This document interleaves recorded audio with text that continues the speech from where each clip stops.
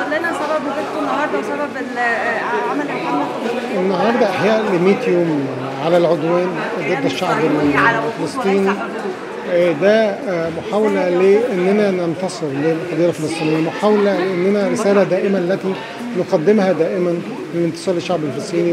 ده آه، رسالة لزملائنا الصحفيين الفلسطينيين نقول لهم نحن معكم قلوبنا معكم. أيضا هي آه، دعم للصمود الفلسطيني هي ال- آه، الفلسطينية ستظل دائما قضية محورية بالنسبة لل- للنقابة الصحفيين والشعب المصري. وهذه محاولتنا لنكون معهم ولو بأضعف الإيمان ولو بالكلماتنا بس فقط التي تتاح لنا بسلاحنا الذي نمتلكه وهو الكلمة وهو المؤتمرات وهو ده رسالة من نقابة الصحفيين إلى آه، آه، إلى كل زملائنا وإلى الشعب الفلسطيني بشكل كامل. ممكن سؤال أنا شخصيا حابة أعرف إجابته. هو هل الو- الوقفات التضامنية دي هل بتشوف فيها تأثير ولا إحنا ده يعني الوقفات الضمانية آه، في كل العالم لها تأثير لأنها هي إعلان على الأقل رسالة للي في الداخل أن هناك من يقف معكم دي أول رسالة. رسالة لل- لل- للساسة وللقادة في العالم أن الشعوب ترفض هذه المجازر. هذه دلالات الوقفات الوقفات دي هي تعبير عن التضامن رسالة للداخل نحن معكم ورسالة للآخرين نحن نرفضكم. نحن نرفضكم. نحن لن نسكت لن نسكت على جرائمكم. حضرتك كنت اتكلمت عن آه، توثيق الأحداث النقابه بتعمل مجهود. في ال- الأحداث اللي بتحصل. ممكن تكلمنا ده المشروع ده عبارة عن إيه؟ لا هو ده إحنا دلوقتي محاولة لجمع الفيديوهات محاولة لجمع أدلة الجرائم ضد الشعب الفلسطيني محاولة لدعم جهود المحاكمات الدولية بشكل أو بآخر.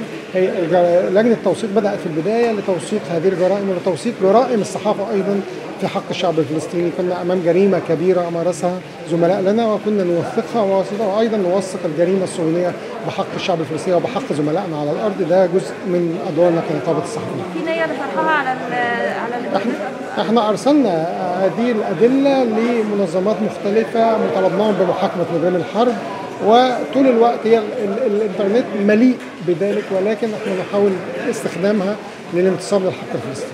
كلمنا بس عن موضوع وائل الدحروح آخر حاجة. والد دحدوح هو إحنا نقابه الصحفيين منحته جائزة حرية الصحافة لهذا العام والعام ال- والآن نخطط لتقديم ملف لليونسكو من خلال نقابة الصحفيين المصرية باعتبارها أحد المؤسسات اللي هي مهتمة بحرية الصحافة ل- آه، للحصول على جائزة الشجاعة الدولية التي تقدمها اليونسكو.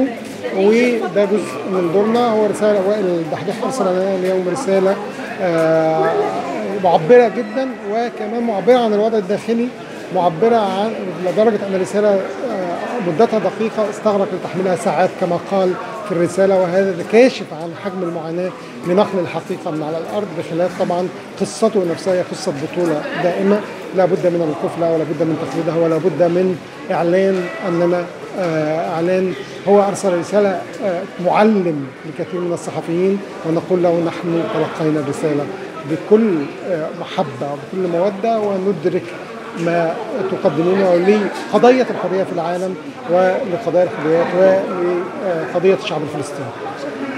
شكرا